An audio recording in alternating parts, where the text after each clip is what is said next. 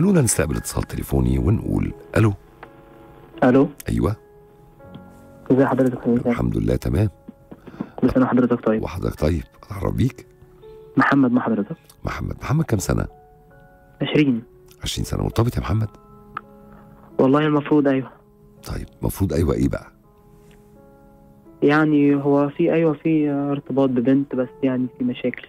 إيه بقى المشاكل؟ قول لي والله حضرتك أنا الموضوع بقاله فترة وحاسس إن أنا ماشي في نفق آه، ضلمة بصراحة ومش عارف يوديني على فين مم. ليه يعني آه، أنا مش محسس بأي حاجة هو حضرتك آه، تعرفنا على بعض في فترة الثانوي مم. أم، يعني كنا قضينا. يعني سنة أو أكتر من سنة كزمايل بس لحد ما يعني صرحتها بحب ليها وقالت لي إنها بتبادلني نفس الشعور يعني مم. الموضوع مش كويس بدأت بقى يعني أهلها بقى وأتعرف عليها و...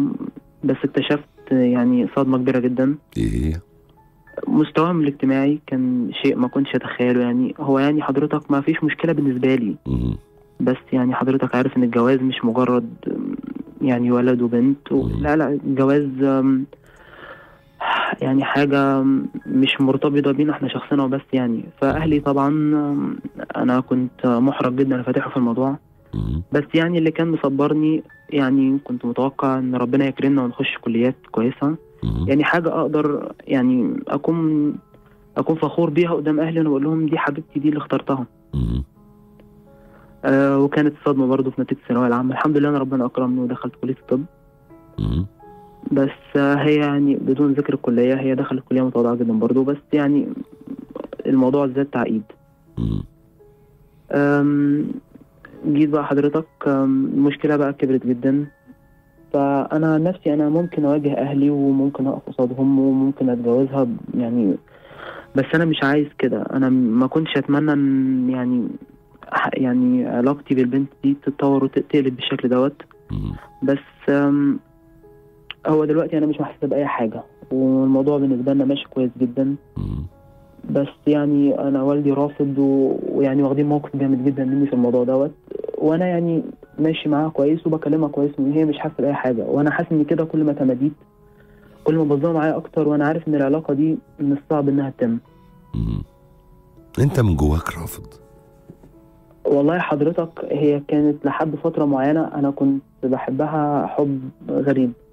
بس كل مدى ومدى الباور بتاعي بيقل. حاسس إن الحب ليها بيقل. ويعني حاسس اني لو سبتها مش هموت. بس هي لو لو سابتني أو أنا لو بعدت عنها أنا متأكد إن الموضوع بالنسبة لها مش هيعدي على خير. هيعدي على خير. بص ما حدش بيموت من الحب. بنجرح وبنوجع وبنعيط وبنصوت وبنلطم. بس ما حدش بيموت من الحب. الفكرة إن أنت طول ما أنت قاعد معاها طول ما أنت معطلها طول ما أنت قاعد معاها طول ما أنت معشمها طب هي أنا دي. مش عارف أنهي الموضوع إزاي يا أستاذ يعني أنا حاولت أكتر من مرة وكل مرة كنت بفشل. بس أنا يعني حاسس إن بتفشل ليه؟ ما بقدرش بتصعب عليا. بتصعب عليك ولا هي اللي بتقعد تعيط لك وتقول لك أرجوك لا وأنا والله. لا لا لا. بس مم. أنا أنا بخاف عليها. أنا برضو مهما كان أنا ما أكرههاش ويعني ما يعني لو حصل لها حاجة برضو هي غالية عندي جدا. بس يعني في نفس الوقت الموضوع كله معقد.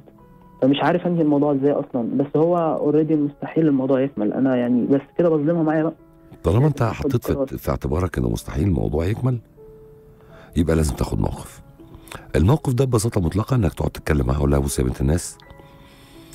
أنا بحاول في الموضوع بتاعنا من كل الطرق والوسائل أهلي والدنيا واللي حواليا والموضوع مش هيكمل.